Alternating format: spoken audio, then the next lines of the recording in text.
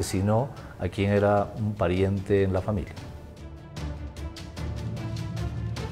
Zamiro Espejo Callejos, de 32 años de edad, fue asesinado con dos impactos de bala la mañana del sábado en un edificio multifamiliar ubicado en las calles Uruguay Casilanza. El autor del crimen, un subteniente de la policía que se encontraba realizando un curso de inteligencia y estaba declarado en comisión. Según las primeras investigaciones, la tía del efectivo policial sufría constantes agresiones físicas de parte de su concubido, el hombre asesinado, y al parecer el policía tomó venganza. Y esta situación hace de que intervenga el sobrino de la misma, quien eh, en un momento cuando se desarrollaba esta situación, ¿no? Uh, toma el arma que tenía y dispara contra la humanidad de este sujeto. Bueno, eh, de acuerdo a la información que hemos obtenido el día de ayer, que estamos ya procesando con el Ministerio Público, se trataría de un oficial de policía en el grado de subteniente. Él eh, estaba en, en un curso que estaba realizando, en comisión, en un curso de inteligencia, y eh, debía ya presentarse este día lunes en la ciudad de La Paz.